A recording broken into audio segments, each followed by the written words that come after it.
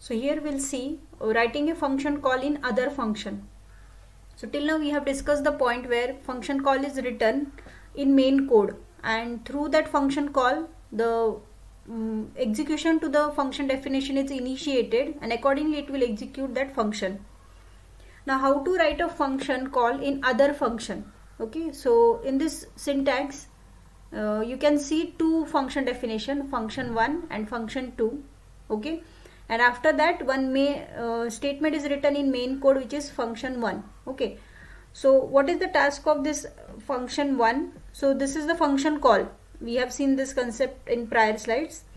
So uh, as soon as this is executed function 1 is executed it will transfer control towards the function 1 execution. Okay. Then it, it will start execution of this function 1 okay but in function 1 we have one more statement which is which is nothing but a function call. And that function call is to for other function. Okay.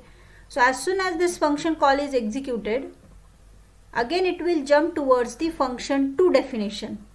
Okay.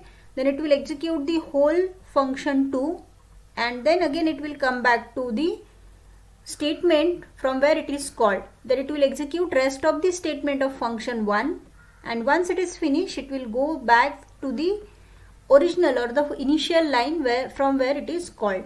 Okay? So this is the way of execution when we are trying to call function from other function. Okay? So in this statement function 2 will be called from function 1 okay? So we call it as a calling function. Okay? So function 1 initiates call to the function 2 so we call it as calling function okay? And that call will be initiated to function 2 that's why here we called as function 2 as a called function okay?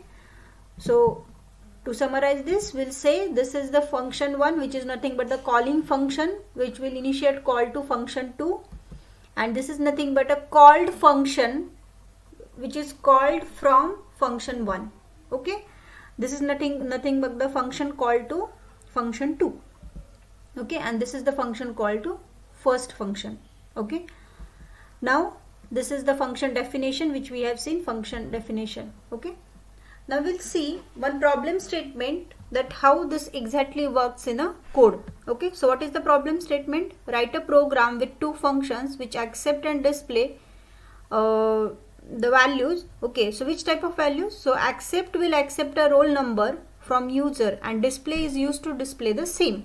Okay, so we have to simply write two function definition accept and display accept will accept a roll number and display will display the same roll number which is accepted by that function okay so we'll see how to execute this so we have to write the first function which is used to accept a roll number so the def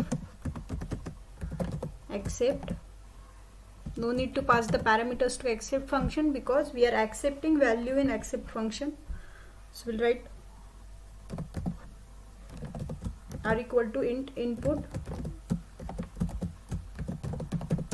Enter a roll number. Okay. And then we have to display this value. Okay. Now in this uh, display we are going to define this function which will take one value n let's suppose and we want to display it as an output. So we'll say print roll number is and then we are going to display value of n okay? So we are calling this function. So we can initiate that call from accept function. So how to initiate that call? We'll write display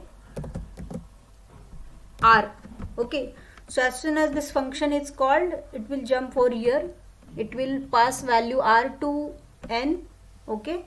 And then it will display that value okay? So we have till now we have written two functions accept function and display function. Accept will uh, take the value of r from user and it will pass on that value to display function. Whatever the value passed on uh, by accept function that is received by display function and then display will print that value as output okay? Once it is done it will come back to the accept function and again from that the main call okay? So the next is the function call okay? So now in this code we have just defined two functions okay? Now to initiate a call to a function we have to write the main statement where we are going to call accept function okay? So how it, this goes on this statement will initiate a call to accept then accept will accept this value then that value will be passed to the display function. This display function call will initiate a function call to display. It will print the value as output then it will come back to the accept function and then finally towards the the main statement from where it is called. Okay? So when we execute this code it looks like it is accepting for roll number. Okay then enter will got the output okay so to check that every statement is called we'll write the print statement so I'll say here print accept is called okay I'll write here okay. So roll number is printed. That means display is being called. And after accept finally we'll write print end okay. And of again before accept also we'll write print start. Okay. So if you understood the concept you can easily rec recognize the sequence of these statements which is printed as output. Okay. So first it will print start then accept call okay then it will print enter a roll number it will accept a roll number it will jump 4 here then it will print roll number is 10 okay then it will come back over here then it will print accept is called again from here it will come back towards the statement from where it is called so finally it will print end so when we execute the code it will display the output as start then uh, enter a roll number it will accept for the value then it will display roll number is 10 then accept is called and finally end. Okay? So i hope you understood the concept of, function call from other function and how this execution goes on. Okay? And uh, again the concept which we have discussed in these series of lectures from function uh, part 1 function part 2 and function part 3 okay?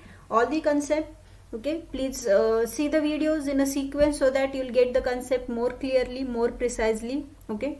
And uh, for the practice you can say you can try for these two programs okay? That is write a program using functions to find cube of a number by passing number as a parameter. And second one is write a program using function to find the sum of first n numbers. So i hope you liked all the videos okay try to um, uh, practice more on these problem statements you'll get the clear idea about the functions which we have discussed in these three lectures Thank you.